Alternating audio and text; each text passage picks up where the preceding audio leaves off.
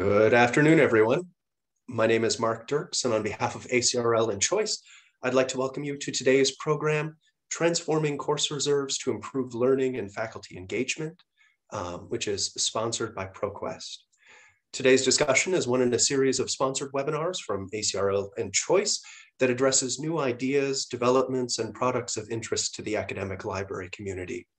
Free to users, these structured 60-minute live presentations pro, uh, provide opportunities for interactive discussions of important new issues and developments in academic librarianship by librarians, vendors, authors, and other interested stakeholders. Um, before we get started, I'd like to point out just a couple of features of the webinar software. Um, for all of you attendees out there joining us today, please know that um, you should be automatically muted and the cameras um, are not accessible to you, at least in this webinar. So don't worry about generating noise or feedback or anything like that. That should be all taken care of.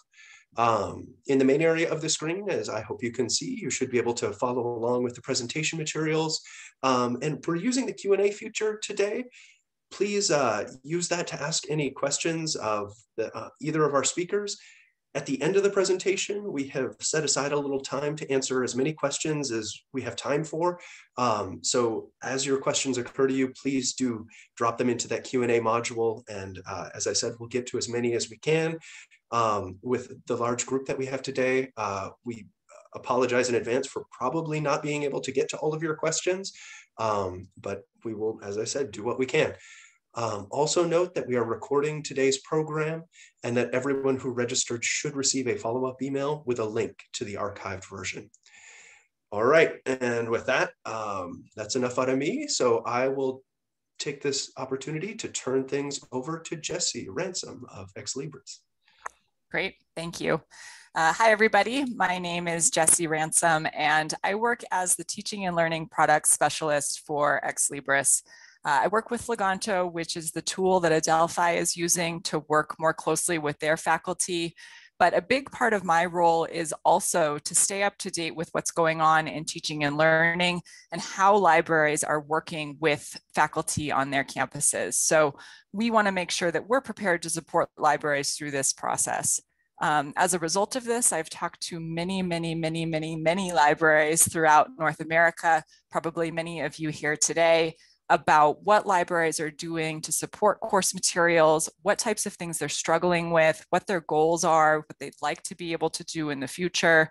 Um, I've talked to libraries really all across the spectrum, some that are very heavily invested in supporting course materials, some that are very purposefully not doing very much, most that are somewhere in between. And especially with COVID, you know, thinking about what is the right move coming forward, coming out of this, what will faculty need and what will students need related to this. Um, overall, what I find is that many of the schools that I'm talking to are looking for ways that they can do more to support their faculty and their students and provide course materials um, maybe a better way to put this is that they're looking for a way to better support faculty and students and to work more effectively uh, as they're building these partnerships. And this is exactly what Adelphi University has been doing. And this is why I'm very excited about the session today. But before we get to that, I wanted to share a little bit of background information with you. Uh, Ex Libris partnered with Alterline, which is an independent research agency, and we conducted a survey at the end of last year where we surveyed students and faculty in North America with questions related to course materials. So how do they find them? How do they access them? How do they use them? How do they measure usage or student engagement? Um, things like that.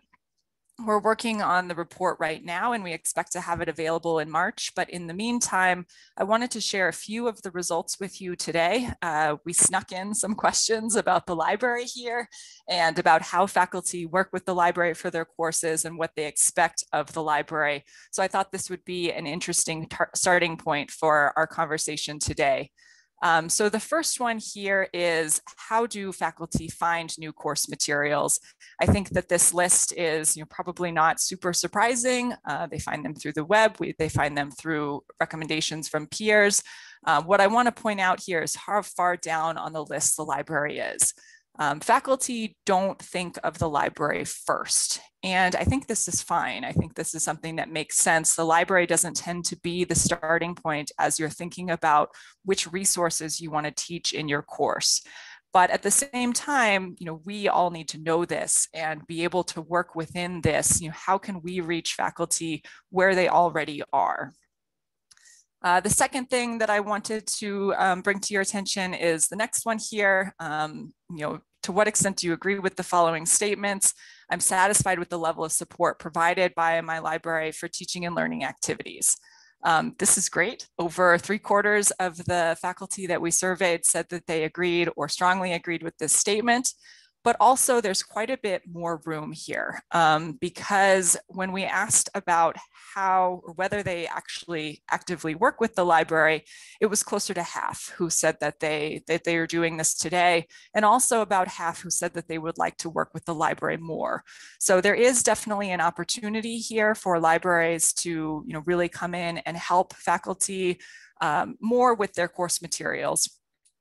Uh, so and kind of tied to that, we also asked what they would like the library to do. Um, so, you know, of this list, purchase, license, and digitize resources was the highest, uh, help reduce the costs for students, and also help with copyright. So these were the top three things that um, they said that they wanted the library to help with. Um, this is, of course, very general. I think that the real challenge here is in understanding what faculty really need which resources should you purchase or digitize? Which resources are expensive, which could be purchased um, or replaced with something else to help with learning affordability. Uh, so how can the library work more collaboratively with faculty to provide the most impactful support? Um, and also how can you shift your existing services to make room for this more impactful support for faculty? Uh, we've seen libraries who have gone through this process and had great success with it, uh, Adelphi being one of them. Uh, but I want to emphasize that working more collaboratively with teaching and learning helps the library as well. Um, you know, for the library to be able to help support learning affordability, to build new partnerships within the institution, working more closely with teaching and learning, with faculty, with uh, instructional designers.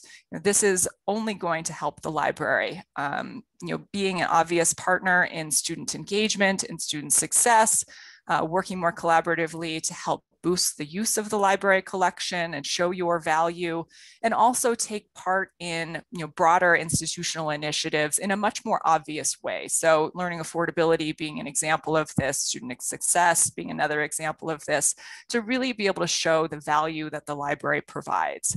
Um, so that's you know kind of where I generally am coming from when I talk to libraries about this, but I know that you're not here to hear from me. So with that, I'm going to pass it over to Jason, who will share a little bit more about what they've been doing at Adelphi over the last few years.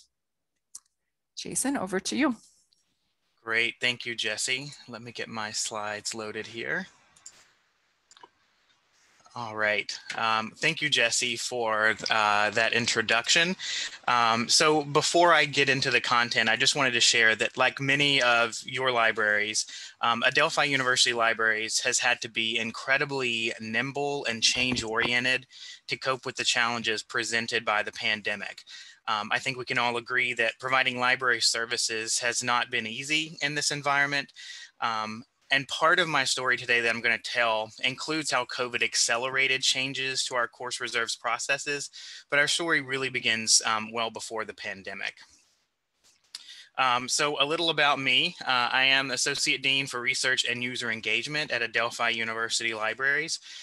But I also come to this project as an adjunct professor in our first year seminar program. And I think that my experience as both um, previously a librarian at Adelphi, now an associate dean, and also as an adjunct professor really shed some light onto um, the multifaceted problem that we were facing with our reserves processes at Adelphi.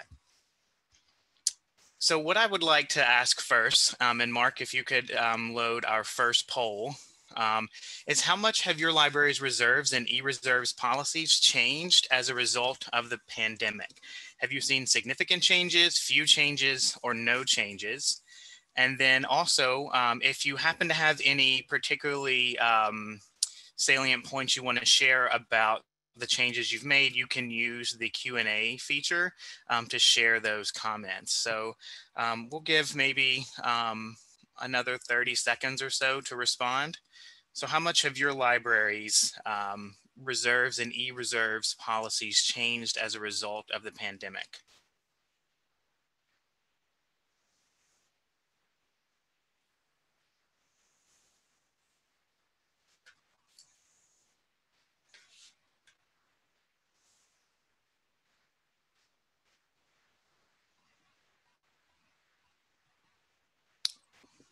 All right, so 58% um, of you are showing, are saying that you had significant changes to your um, reserves and e-reserves policies. 33% say few changes um, and 9% uh, say no changes. So I'm, I'm not surprised. I feel like a lot of us have had to make some significant changes in what we're doing.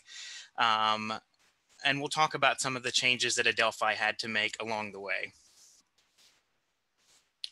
So a little bit about uh, institutional context. So Adelphi University is a medium-sized university on Long Island. Our main campus is in Garden City, which is just a few miles across the border from Queens. Um, we have uh, four sites total, our main campus in beautiful Garden City, New York. We have a campus further east on uh, in Suffolk County on Long Island. We have a center in the Tribeca neighborhood in Manhattan and a center in Poughkeepsie in the Hudson Valley. Um, across the four sites, um, we have around 7,500 students total at both the graduate and undergraduate level. Some of our more well-known programs include social work, um, nursing, education, and performing arts. In the libraries, we have our main library, Swirbul Library at the Garden City campus, um, that houses all of our technical services and processing departments, and then smaller libraries at each center that support the curriculum at those centers. Um, we have a total of 12 full-time faculty librarians, four adjunct librarians, and about 23 administrators and staff. So um, all told, we're a relatively small outfit, um, which presented its own challenges in making some of these adaptations. So the agenda today is going to follow sort of a chronological story of how we made choices along the way um, to uh, arrive at the, the, the state where we are now with our reserves and e-reserve systems.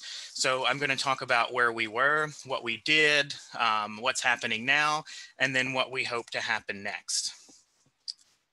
So um, where were we? I'm going to start with two anecdotes about the use of our reserves. The first, panic at the copyright workshop.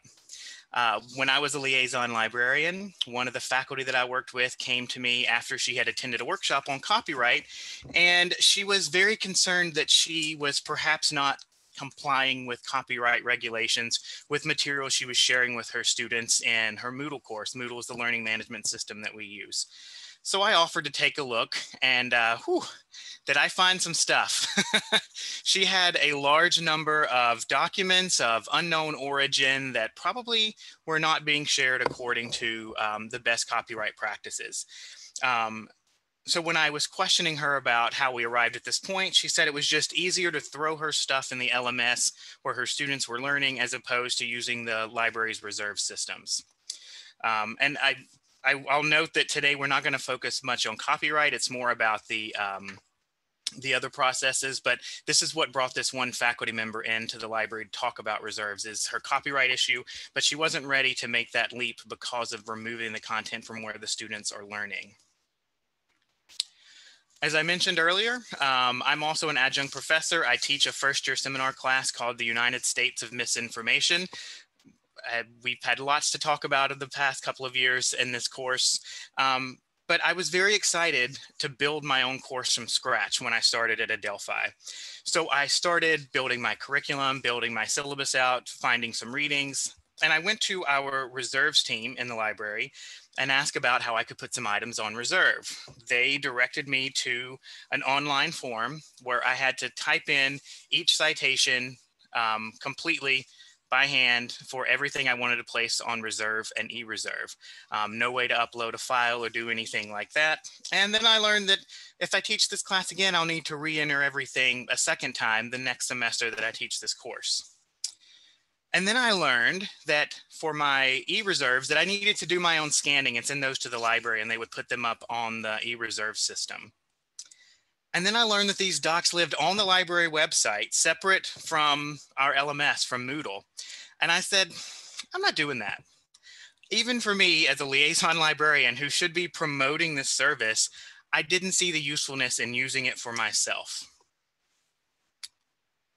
So our second poll um, as an estimate, do you think you have faculty who bypass your reserves processes? A lot, some, almost all of our faculty are following our, our processes, or I'm not sure. And again, you can use the Q&A feature to share any, um, any experiences you have or any comments on this question.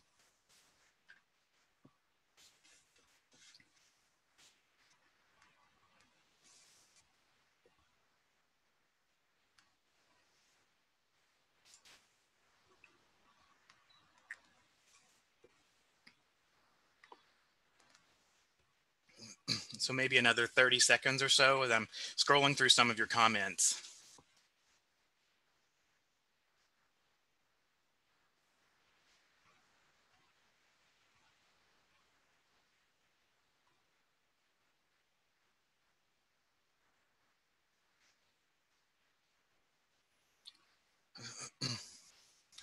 All right, so um, only 5% of you say almost all follow our processes, but around a third um, say a lot are bypassing your reserves processes, um, and around a third say that some are, and 25% say I'm not sure, which is not surprising because often we don't know how faculty are using material in their courses. Um, and a lot of great comments um, being shared in the Q&A, so thank you for sharing your experiences. So in February of 2019, I accepted the position of um, Associate Dean for Research and User Engagement at Adelphi. And one of my intentions was to take a deep dive into our reserve system and look at ways for improving them. So one of the things that I, I, strongly believe is that one of the ways that libraries demonstrate value to institutions is addressing those uh, thorny problems and those pain points for faculty and students. And oftentimes that means taking um, a look internally at the long-standing practices and policies we have and trying to understand where they came from, why they exist in the way they do, and how can we modify those to improve student learning? Because after all, that's our goal at the university is to improve learning for our students. Um, so at Adelphi, one of these issues was reserves.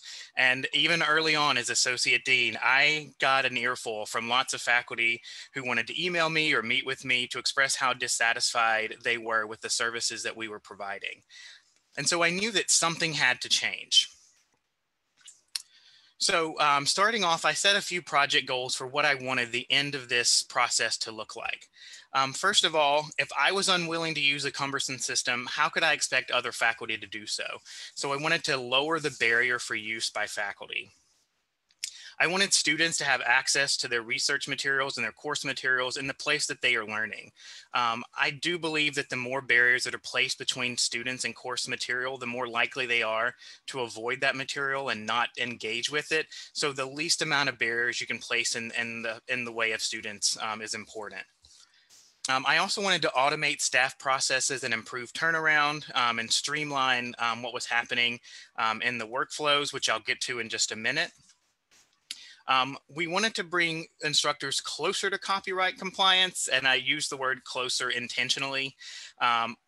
I'm really not going to touch on copyright today, but our instructional designers and our librarians, and many of you probably are aware that this is an ongoing issue and something that we need to address through educational campaigns with our faculty. Um, and finally, um, I wanted to make sure that we were improving the accessibility of the material that was being scanned and shared with students. Um, if we were relying on faculty to do that, then what is the likelihood that they're creating accessible scans for, say, students with a visual impairment?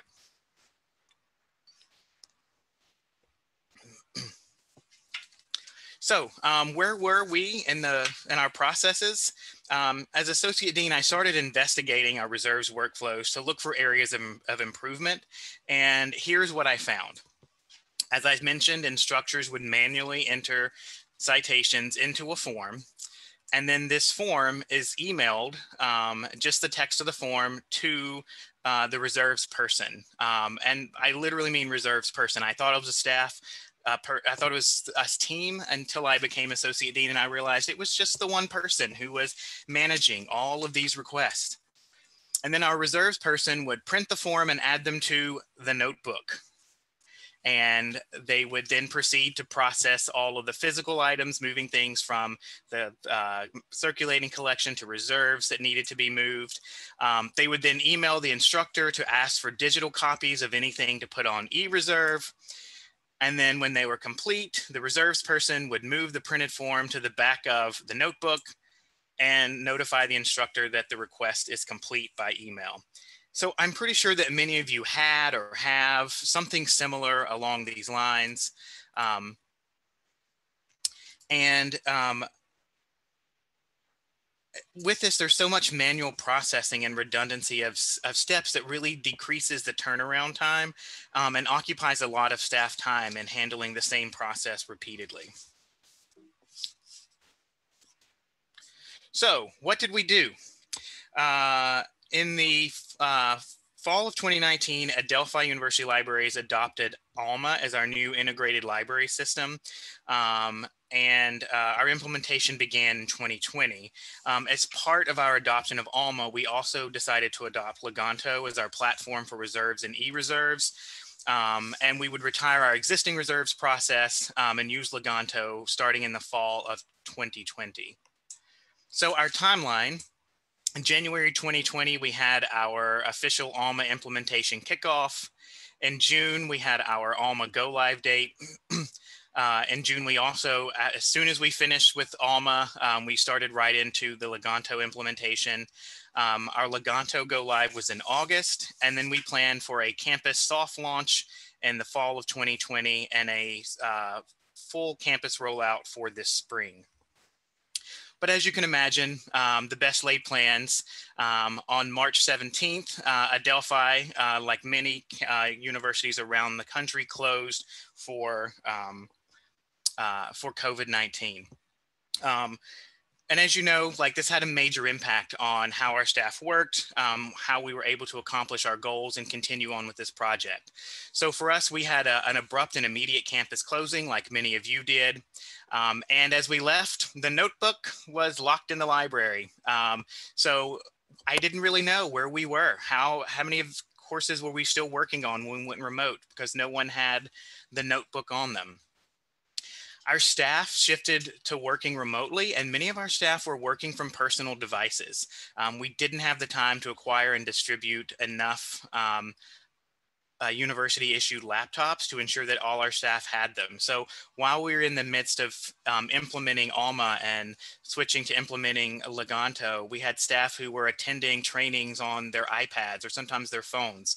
Um, so we were really in a difficult situation to be able to launch these products um, the way um, that we wanted to. So what did we learn from this part? That what we, we needed to really examine what were we doing that is no longer relevant and what do we have to do now um, that is imperative. Um, so I want to talk a little bit about like the, the impact and the importance of the pandemic. So in Karl Weick's pivotal article about the Mann Gulch forest fire disaster, Weick introduces the idea of a cosmology episode. He states a cosmology episode occurs when people suddenly and deeply feel that the universe is no longer a rational and orderly system. What makes such an episode so shattering is that both the sense of what is occurring and the means to rebuild that sense collapse together. He goes on to discuss how these situations sometimes, that in these situations, sometimes we have to drop the tools that we know and the tools that we're comfortable with and trust that new ways of making sense of the world and the things we're doing are necessary. And I think we can all agree that um, the pandemic has been a cosmology episode um, in many ways. Um, and for us, this was a chance for us to really engage in this transformative shift from our previous model of reserves and e-reserves to something new and something that served our faculty and students better. So in this transformative shift, we knew that in the fall uh, 2020 planning that we would be uh, looking at a mostly remote um, teaching and learning workforce. And so we knew that online learning would require online solutions. So we chose to rebrand um, our reserves program as reading lists, um, moving away from the vendor name um, and calling it reading list um, to in indicate that transformation to a new model. We also wanted to think beyond print and um, our collections, that we really wanted to have faculty think about the totality of material they want students to engage with in a course. So not just books and articles and textbooks, but also streaming media, websites, images, whatever it is that um, that faculty need to have students engage with to um, to really impart that learning. We wanted it to use that as part of this system. We also knew that um, our students would be um, out of the classroom and in a learning management system or in synchronous online system. So we wanted a direct link to this material in the learning management system we knew that we would need to retool our staff. Um, we had to move from our reserves person to really empowering the entire user services team to work on these reading lists um, and to think of fulfillment um, of how we're getting access to our materials um, as a whole and not in discrete parts.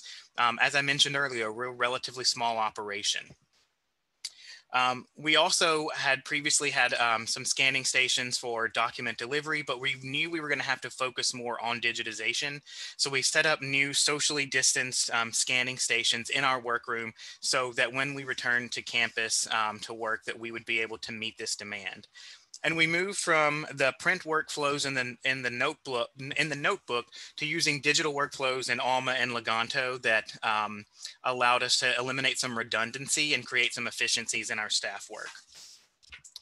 So our summer 2020 pilot, as we were implementing Leganto, we had six highly motivated and I'll add highly aggravated faculty in our pilot. Um, we recruited these faculty because we knew they did not like what we were doing in the past. And we really wanted that intense feedback that um, whether or not our plans were going to work and we're going to um, improve student learning and have faculty engage with the library more. So the range of our courses in the pilot were from a first year course all the way up to graduate courses. We had a small seminar um, all the way up to a, a course with multiple sections that shared a common reading list. Um, so the lessons we learned from our summer pilot is the interface for these faculty to add uh, material to their reading list was very simple and intuitive. Um, I sort of threw them in without a lot of support and training, and most of them figured it out with minimal questions, um, which was good indicator of what we needed to do to prepare for a larger launch. Um, we did notice that our faculty still struggled with uh, using the discovery layer to add materials to their reading list, but that's another problem that we'll need to resolve. Um, and we also learned that we needed to open multiple avenues of communication so that faculty working on their list would be able to communicate with the libraries about what they needed, what they were having trouble with, what they were looking for. So our fall 2020 soft launch, we exploded from our six pilot faculty to 70 courses. Um, much of this came by word of mouth from our pilot faculty who um, shared their positive experience and how they wanted to um, continue to use this and what they learned over the pilot over the summer. And then we have what I like to call the happy accident. Um, remember the email, the form I mentioned earlier that I didn't want to fill out because I had to type in everything. Um, for my citations and then it went to the reserves person. Yeah, we forgot to take that form down when we did the campus soft launch. And it actually happened to be a very happy accident for us, um, or perhaps um, a bit of a, a, negative, which I'll get to in our next steps uh, where we're going with this. So we found a lot of faculty were still discovering that form and filling it out. And so our team just rolled over their um, reading list that they would submit on the old form into a new um, Leganto based reading list. Um, and then we would share within the instructions for adding it to Moodle. So we sort of drew faculty into the process through the happy accident.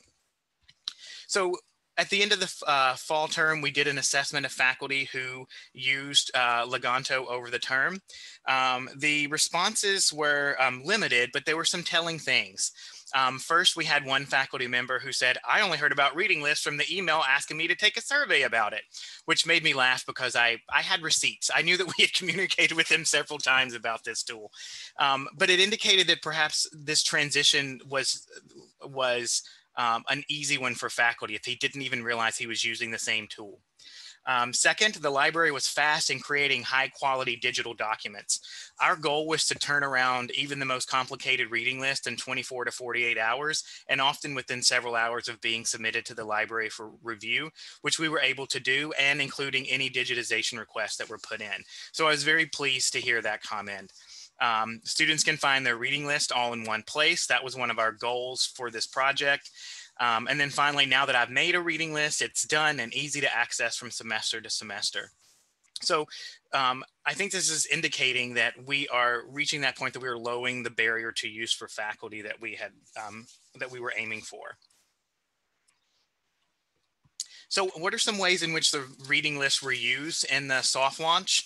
Um, so I have two samples here from social work courses. Um, the first course, um, the instructor said, in her view, any barrier to accessing information, particularly in this graduate course where students were often working professionals and taking um, classes at night, means that students won't engage. They just don't have time to go digging around for things. So she spent a lot of time um, precisely organizing her reading list by the weekly reading requirements, had everything laid out in a very clear and logical sequence, and provided deep links or files to all of the required re reading. Um, another social work um, faculty member said, I'm teaching my students to be researchers and scholars. And so she chose to do more of a loosely organized reading list where she would link to, say, um, the journal at the title level to encourage students to explore um, additional research. Both of these are perfectly valid um, pedagogical approaches, but it shows the flexibility in how um, faculty can, oh, excuse me, um, and how faculty can arrange their, um, their reading list. So uh, where are we? So this is our socially distanced library squad.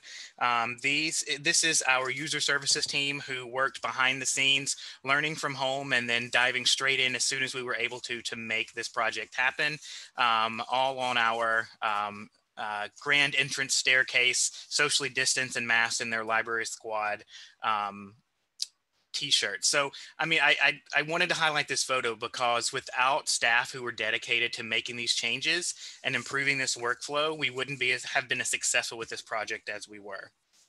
Um, so where are we now? Um, we are in the spring 2021 um, full campus rollout. We were able to stick with our original timeline. Um, over winter break, based on some in-depth conversations with some of the pilot and soft launch faculty, we made some configuration changes that drastically improve the experience for both students and faculty. Um, starting in January, um, we did a series of faculty workshops um, advertised by our provost office, um, and the attendance at these was phenomenal. We had um, 20 to 30 participants at all of these, and for a campus that size and an intersession, that was a pretty significant turnout. Um, we really generated a lot of interest in, in the new system through those workshops. We're continuing to meet with individual departments to share um, our to share uh, reading lists um, throughout this term. Um, we have created our um, implementation team for Leganto created um, a handful of short uh, slide decks that our liaison librarians can use um, to talk about this uh, service at department meetings. they're designed to be easy to use and then followed by a short demo. And then some of our um, staff can also attend and ask questions in case they have, case faculty have questions about how things work and turn around and those sorts of things. Um, over the spring, we are continuing to do um, improvements to our workflow, um, continuing to think about how we can improve the turnaround, um, how we can make sure that our staff are fully supported in, um, in the ways that we're uh, utilizing this tool and we are uh, planning um, another end of term assessment to see where we are and what our next steps might be. So what's next for us with our uh, Transforming Reserves project? Um, I feel that um, that Leganto has been an accelerant to help us um, establish the libraries as partners in learning. Um, that referring back to Jesse's survey about where faculty go to look for course material, faculty who are using the reading list um, are discovering resources that the library has that they can use to build a course. Um, so um, we're hoping that this can help to change the narrative that we are the fourth, fifth, sixth option for looking for new course material, um, that the libraries can be one of the top choices where um, where faculty go to look for new course material. I wanted us to move from a burden to access to ease of access. I think back to the um, the panic at the work copyright workshop um, colleague who um, just she had an amazing course with a lot of great material but the burden of placing that on eReserve was more than was worth it for her to do that so uh, i really wanted us to move and think about the libraries as removing any barriers to access and making it as easy as as possible We've also been using this tool to demonstrate how flexible the libraries are. Um, when we get our feedback from the pilot and the soft launch faculty about things that don't work or things that they wish they could do, we took that seriously and investigated um, if we could change policy, if we could examine the configuration and make changes um, that allowed the reading list to really um, meet faculty where they needed with their curriculum. Um, and finally, um, this partnership and showing the libraries as a flexible partner on campus helps us open the door to act on bigger strategic initiatives that the library really wants to, um, to work on. So revisiting our goals, um, lowering the barrier for use by faculty. Um, I think we've been able to do that. Um, we've been fairly successful um, for with that. Um, the tool is super intuitive. We created some guides um, that um, help faculty to get started with the reading list um, platform. and we've even done some one-on-one sessions with faculty who need it um, ease of access to materials for students um, by having this direct link in our learning management system um, and working with faculty who've embedded even sections of a reading list within um, the entire course structure. We've really made that material front and center for students. Um, automate staff processes and improve turnaround time. Our turnaround time is um, vastly improved from before with a more um, print-based workflow. So I'm pleased that our staff has worked so hard to make that happen. Um, bringing instructors closer to copyright compliance. Um, we've had a lot of discussions with faculty using this system about what um, uh, what we can and can't do under copyright. And it's been some interesting conversations where um, there are a lot of misconceptions around copyright, as you know, um, but having these conversations and really opening the door to talk about how the libraries can help to meet needs and still remain in copyright compliance. Um, and finally, accessibility. We really focused in training our staff on using um, the software, the scanning software to make sure that we're creating high quality and accessible um, digitized material. So what are our next steps? Um, well, first of all, there's the name. Um, we decided to brand the product as Reading List at Adelphi. And in one of our first interactions with faculty, the feedback was that the name Reading List really feels tied to print. And after they attended a workshop, they realized that this was much more than just print. And so we're going to do some studies with some of the um, faculty senate committees um, to talk about how we can brand this in a way that really indicates um, that this is beyond just what you think about for reserves and e-reserves. It's a really a new um, paradigm for sharing course material. Um, we're going to continue to adjust our messaging to potential faculty adopters. Um, one curmudgeonly faculty member um, who was a little reluctant to participate and uh, use a reading list. Um, after he used it, he said in a committee meeting, I didn't realize how transformative this service was. I thought I was still going to have to walk over to the library with my paper forms and my books and do my own scanning. And we should really highlight that this is a transformative um, service and a, and a new thing for the libraries. Um, we also want to be able to use this to talk about um, how reading lists can help with the um, issue of uh, affordability in higher education. Um, we're looking this term at automating copyright approval process to take a little more of that workflow out of our staff. Um, and there are tools within, there are uh, settings within the tool that will allow us to do that. And we also, just a couple of weeks ago, um, Adelphi launched an open access policy task force that I'm chairing. Um, and along with the OA task force and reading lists, we want to use this as a conversation starter to talk about OER to really highlight the issue of equity of access to information and how libraries can help contribute to higher education affordability.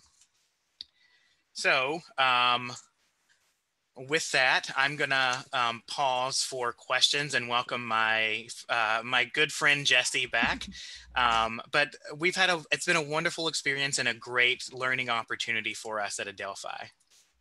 Thank you so much, Jason, for sharing the information about what you guys have done. Um, I think before we get to the Q&A, I have my own question. Um, so I'm going to go first since I'm the only one who can unmute myself. um, as you were talking, you know, something that I was thinking about is, um, you know, for the people who are listening today and maybe starting to think about undertaking a project like this with or without Leganto. I know you did this with Leganto, but obviously that won't be the right fit for everybody. Um, what kind of advice do you have or tips do you have for libraries who might be reevaluating their course reserve service? Right. So I think my first advice is to to not be afraid to embrace change. Um, that um, we often become stuck in this is the way we've done things, or we have policies and procedures that have been around for a while. So I think the first thing is to to not be afraid to embrace change, um, and the second would be to assess this the experience from multiple perspectives. So um, I was a liaison librarian and then an adjunct professor and an administrator. Um, and so really trying to see the problem from multiple perspectives and trying to solve that problem from the end user perspective. Uh, sometimes that means making things more work for the library. Sometimes it means making things easier. Um, and we happen to be in a spot where we were adopting this tool that helped us make that transformation. But I also feel like we could have made some of these changes even without the tool. The tool just accelerated our ability to do that. Great, thank you. Um, with that, I think we have quite a bit of time for Q&A, but I also believe there is uh, there are a lot of questions in there. Mark, can you help us uh, weed through them? yes, I've been sort of keeping an eye on them as, as they come in throughout the presentation. Um, so first off, thank you so much. Um, there's to both uh, you, Jason, and, and you, Jesse, um, for, for walking us through this. Um, one of the questions that came in just a second ago um, that I think might be a, a, good place to start, and maybe I'll throw it um, to you to start with, Jesse. So somebody just asked, what, what exactly is Leganto? Can you explain that for us? Yes, that probably would have been a helpful place to start, huh? we'll finish with it instead.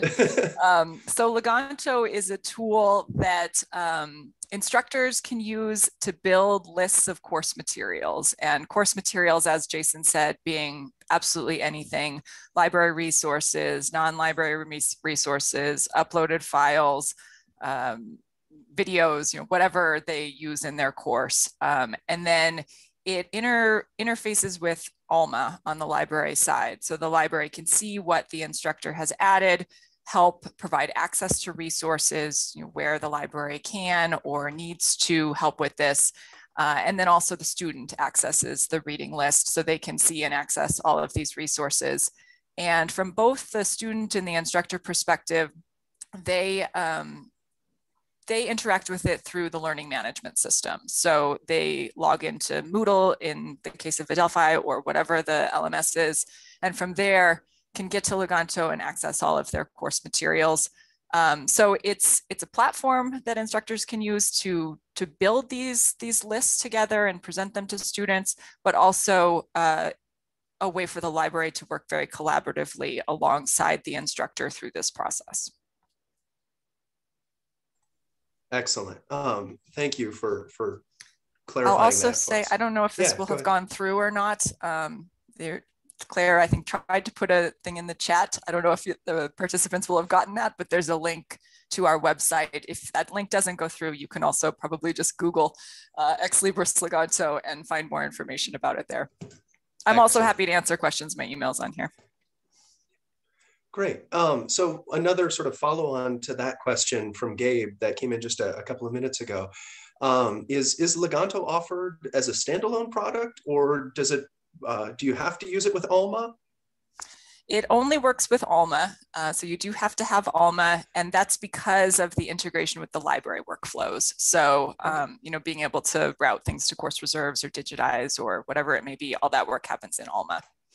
That makes sense. All right. Um, and then, uh, as was mentioned, we have lots and lots of questions here. So um, if either you, Jesse, or, or, or you, Jason, notice one that you really want to jump on, feel free to just uh, let me know. Um, so one question that came in a little while ago from Stephanie is, um, and this I think is, is for you, Jason, who helps to promote your service? Is it the Dean of Students, the Provost, the PR department, a student newspapers? Um, how do you get the word out? And uh, the follow on to that is, does the email blast to faculty actually, you know, get people to use the service? Does that help?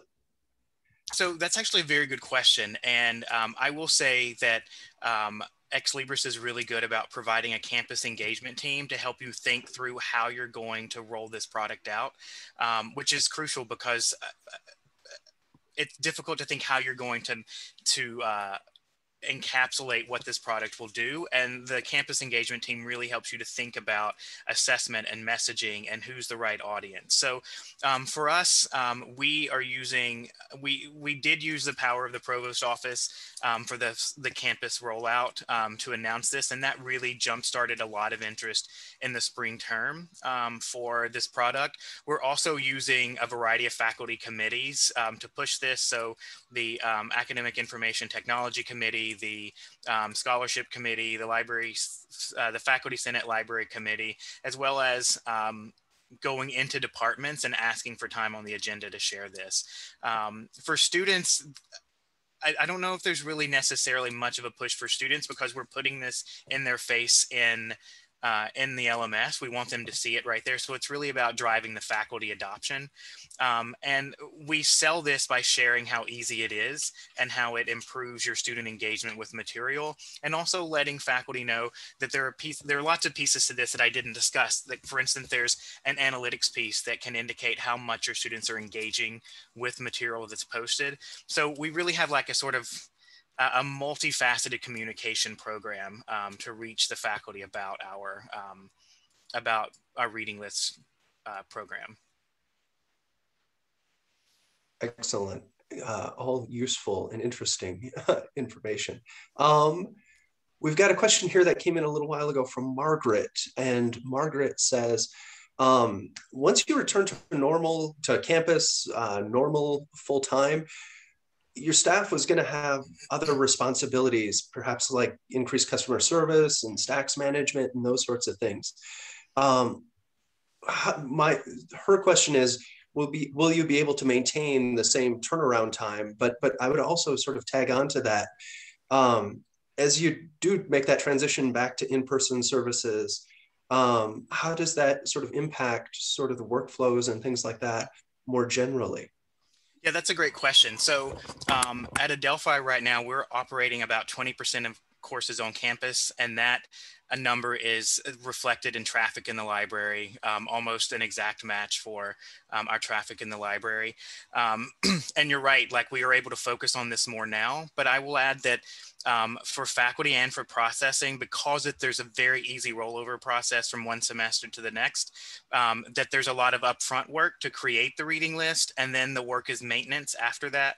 So for instance, um, I didn't teach last fall my first year seminar, but when I build my reading list for the next time I teach this course, um, I can easily roll that into the next term and make any adjustments that I need to make. So I, for us, um, being mostly remote at this point, um, we can devote the time to learning how to have this quick turnaround And um, as we go uh, between semesters, it's really about a maintenance issue, making sure the links are still working properly, um, processing any new um, citations that come through from faculty. Um, so I think that this, I think this is a sustainable model for us going forward. Excellent.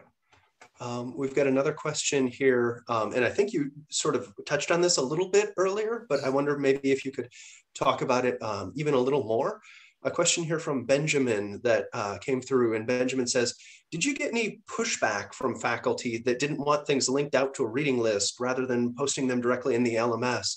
Right. Um, yeah, could you talk about that? Sure. So we actually did. This came up in um, in all of our workshops. Like, why would I use this and not just put it directly in the LMS? And the answer is that um, if you put a link, even a link to a library subscription in your LMS, um, and that link changes for whatever reason, the link is now broken for your students, and that's another barrier for your students to find that information. Um, the way our process is set up before we publish a list, our team um, spot checks all of the links to make sure they still work. Um, so we're doing that work for you. And if something changes with one of our subscriptions, that's reflected automatically in your reading list. So you don't have to be responsible for tracking those things. Um, most learning management systems have um, analytics about how students engage with material in the course, um, but uh, there's an extra layer of that analytics that's available in uh, Leganto to show you how students are engaging with material. Um, so yes, uh, what I tell faculty is if you just want to provide the link in Moodle, there's nothing stopping you from doing that. But then you're the one who's going to be checking for those links every semester, right? Where on the library side, a student can mark an, um, a citation as link is broken. We see that and we can immediately investigate and fix it for all the students. Um, so there are some advantages to partnering with us because we help you maintain um, those lists. Great, great. Um, and just to to highlight maybe um, for um, some of the other folks on the line, we have a question here from um, from Anne, uh, who who says that she would love to get the survey, the link to the survey that Jesse mentioned earlier. Um, is is that available, uh, Jesse? Is that something that folks can go and find like a white paper for, or or something like that? I saw that, and I saw that there are actually several more that are related to the survey or to the survey questions. You are getting a sneak peek today. Um, we are writing the report right now, so we do expect to have it available in uh, March, so not too far away. But as of now, I don't have you know, any other links or things that I can share with you. So I'll have you on the edge of your seat for a little while while we wait for that report to come out. All right, that's good to know. And very interesting to get a sneak peek. So very cool. um, we've got. There's one said, here, Jason. Um, I don't. I there's one I'm curious about. Um, it says, how involved are librarians in the whole process? Do you assist with reading list curation? And maybe for me to change it a little bit, do you recommend resources for instructors? So my apologies if there's some background noise. Apparently, I'm a package being delivered, and my dog doesn't like the doorbell ringing. So, of course, it wouldn't be a webinar without a dog barking. it wouldn't be working from home right? without a dog barking or something, right? Um, so, how you're asking how involved are librarians with the process, right? Yep, and I'm curious too. You know, part of this is our they don't the question doesn't actually say this, but I'm right. I'm adding a little bit. Do you recommend resources for instructors to use? So this is something we wrestled with about how much to involve librarians in the process. Um, so the way we've involved librarians is um, we bring librarians in at the point of creating a new course. Um, so with the transition to online learning or transit or creating a reading list, if the syllabus is established, we'll just process those results as they come in. But we do involve faculty with we do involve our librarians with faculty who are creating a new course and are looking for resources. Um, do we recommend resources? We don't because our our um, processing is done by paraprofessional staff, um, but librarians who are partnering with um, faculty who are creating a new course um, would be in a position to recommend resources. Um, so there are lots of ways you can set up your workflows in, in Leganto. That's where we are at the moment. Um, so we don't for every list make recommendations. I was curious about that. Um, just so everybody knows, I didn't actually know the answer to that question, but I know we do have some libraries that do that. And especially right. you mentioned that you're moving toward OER. um, especially in textbook replacement projects where I think faculty do tend to want more help from the library in selecting their course materials. That's where I hear about that more. Right, and I think as we using this and our open access policy um, discussion, I think we can start to talk about adoption of course materials. Um, I will say that one of the interesting conversations we had, and I've noticed a few questions, a few comments in the Q and A about um, how do we handle, do we have physical reserves? How do we handle physical reserves? What are we doing? Um, we followed the guidelines that a lot of libraries are using, and we require 72 hour quarantine for any item that's checked out, which makes no sense for a reserves item, right? Um, but one of the things we did do through this process um, is we actually worked with a um, a multi-section biology course, and they agreed to a to using an older edition of the textbook for reserve that we could buy cheaply and put multiple copies, so we always had one in rotation. Um, so I, I did see that question. That's something that is a little off of Leganto, but something that we've been working on. But that's one of the ways that we made a recommendation for material is how about if we just purchase an older edition so we can have multiple copies? That's very interesting. Great. Um, so a, a, question sort of related to, directly to Leganto um, for, I think for you, Jason, but maybe you, uh, Jesse, would have a follow on to this from Zorian. Um, and I apologize if I'm butchering your name. Um, is how difficult or time intensive was the implementation of Leganto uh, to get it up and running? So, um, from your phone, don't forget. from your phone or an or an iPad. so we've been on an implementation blitz for a year, um, and of the systems we implemented, Leganto was the easiest. Um, we had we went straight from implementing Alma, uh, transitioning to Alma, and then Primo is our discovery layer. We went live with those at the same time, directly into Leganto. And by comparison, the Leganto implementation was was fairly simple. Um, there are some integrations you need to set up. There are decisions you need to make about um, displays and how that works with um, with your LMS. Um, there are the Leganto configuration menu is extensive, but Jesse provided some excellent guidance for us uh, about where to look for particular areas that would be useful. Um, so the implementation process um, for Leganto, I would say was relatively painless um, compared to the other implementations we've been going through. Not that they're difficult, it's just a lot, it's a lot less work and a lot less um, uh, intensive than uh, than a, a, full Alma implementation. What we tend to hear, you know, generally is that the technical implementation is not the hard part. It's more the you know, what you've been talking about today, mm-hmm. rolling this out to faculty, and um, you know, convincing them that this mm-hmm. is the right the right approach and that the library right. you really can have a big impact in supporting them in their course materials. Absolutely. Like the, the, the selling of this is more difficult than the implementing.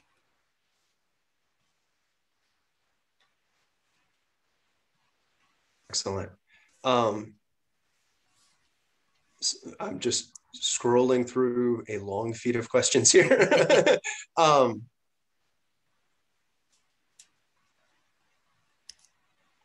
I know there are some questions on here that I'm purposefully ignoring because they're very specific. Um, how do you do this? How do you do this? Mm-hmm. Yeah. So just just as a reminder, Jason and I both do have our email address up mm-hmm. here. We're we're very happy. I'm just speaking on behalf of you, Jason.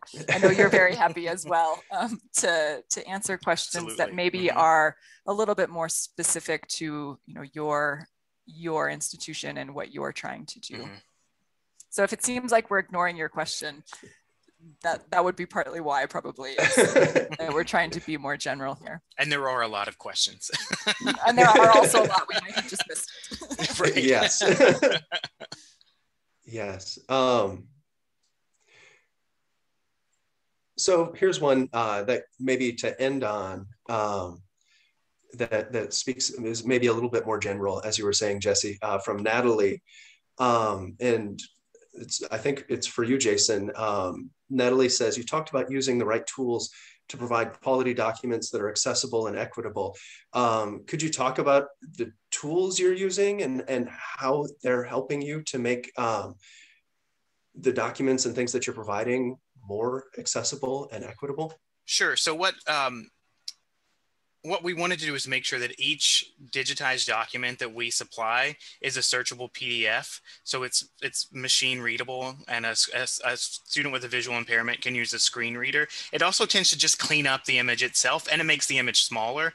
Um, previously we were just scanning images and they were kind of messy and throwing them out there and i was like folks we have to do better. Like we have to make this better that and i sold it to the staff as i understand it takes more time but this is an accessibility issue and we owe it to our students um, to do a better job. So um, we have a couple of older, I don't even know what model they are. Um, I can picture them in my head, but they're 20 miles away in the office right now. Um, and we're just using Adobe Acrobat Pro um, to create the searchable PDF. Um, and uh, that really was a key. Early on, we had trouble. The staff were complaining, my files are too big to go through. The files are too big. And so when I started looking, I was like, well, it's because you didn't like um, make this, a, there are ways to adjust that. So we're just using Adobe Acrobat Pro to adjust the images. Excellent. Okay, um, looking at the clock, we're fast coming up and maybe even have passed uh, the, the hour mark here. Um, so I will just uh, once again say thank you, Jason, um, and thank you, Jesse, for, for first off the presentations and then taking some time to handle lots of uh, rapid fire questions. That's some, in some ways the most interesting and, and most difficult part of the presentation. so um, thank you for that. And to all of you folks out there who joined us today, we say thank you very much for taking the time to, to listen in and to participate. We really appreciate it. Um, I would mention as we sign off here that you should have a link to a very brief survey um, if you could take just a couple of minutes to fill that out and provide a little bit of feedback on the session, we would really appreciate that. Um, and once again, thanks so much for your time. We look forward to hopefully seeing you on another webinar in the near future. Thanks very much, everyone. Thank you. Thank you.